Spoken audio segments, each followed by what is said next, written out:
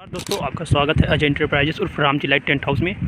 तो यहाँ पे काफ़ी बड़ा पंडाल का सेटअप लगा हुआ है, जो कि ढांचा बस खड़ा हुआ है पाइप का काम। मैं आपको बता दूँ, इस पंडाल का एरिया जो है, ये साठ ऐसे है और डेढ़ सौ लंबाई है। तो साठ बाई डेढ़ सौ का ये पंडाल लगा हुआ है, जिसमें कि तीस फीट का ये गोला बेरिया लगा हुआ है।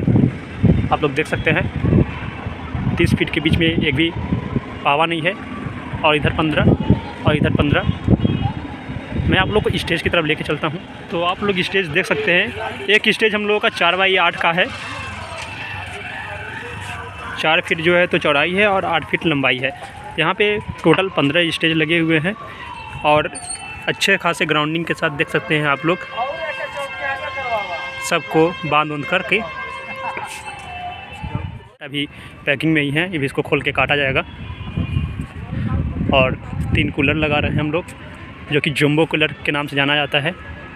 बने रहिए आप लोग हमारे यूट्यूब चैनल अजय इंटरप्राइजेस उर्फ़ रामजी लाइट टेंट हाउस